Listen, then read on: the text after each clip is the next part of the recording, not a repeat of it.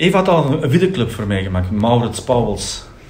Uh, ik vond dat heel goed gedaan en uh, op een gegeven moment heeft zij dat gewoon gevraagd. Ik zag dat dadelijk zitten, ik had die film gezien, de ruwe versie, schitterend. Ik dacht van ja, laat maar komen. Echt een langspeelfilm, dat is de eerste keer. Theater, dans, dat wel. Maar nou, of korte reclame of kort film of.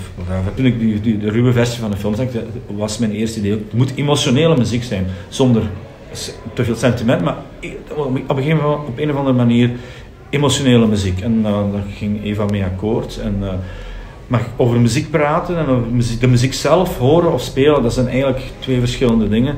Dus het moet in de praktijk moet dat spreken. Eva die zei, uh, kunt je, een, we zoeken nog zo'n titelsong, uh, ik had er wel een paar dingen gemaakt ook. Zij koos dat nummer eruit. Ik had dat voor een, een dansvoorstelling gemaakt die dan live meespeelde. En dan heb ik dat herwerkt, een beetje. Het, uh, textueel een beetje wel. Uh, eigenlijk verbeterd. Nieuw opgenomen en gemixt. Dat was ook een, een kick voor de eerste keer dat ik mijn eigen opnames beluisterde. Een surround. Dat was ook een eerste keer. En dacht ik van, shit. Is dat die crappy gitaar die je hebt gespeeld thuis? Klinkt die nu zo? Mocht, die mag elke, elke week bij mij thuis komen uh, muziek mixen. Ik heb zo geen echt carrière doel dat afgebakend is. Uh, ik ben popzanger of zo. Nee, ik maak muziek. Je kunt mij bellen.